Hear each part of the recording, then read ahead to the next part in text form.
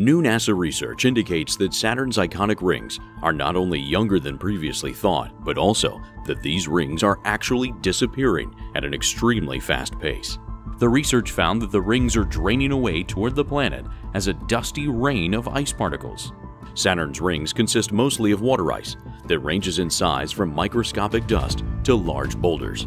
Ultraviolet light from the sun and plasma clouds coming from tiny meteoroid strikes charge the icy dust, which then becomes bound to Saturn's magnetic field and pulled into the planet by gravity.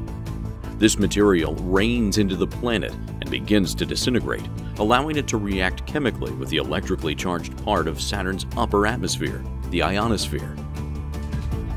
The ions glow in an infrared light as part of this process if the rain is light, but the emissions dim if the rain is heavy.